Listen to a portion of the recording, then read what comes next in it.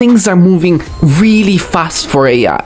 Apparently, now you can create your own cartoon, aka animated story with just drag and drop AI, even no code required. So let's try to make one right now. So once you get to the interface, the first thing you're gonna see is the portraits of other people.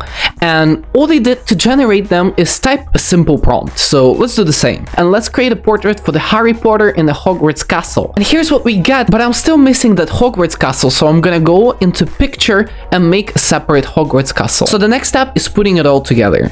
We are working on the first shot and there is a maximum of 20 shots. And straight away from the personal gallery, it knows that we have generated Hogwarts and it places it right here. Again, we have Harry Potter in here, so all we have to do is just click on him. So now we will put the dialogue, something about Hermione. And here is the final result. Careful, there is an odor behind you. Oh no, take out your wand. It is insane that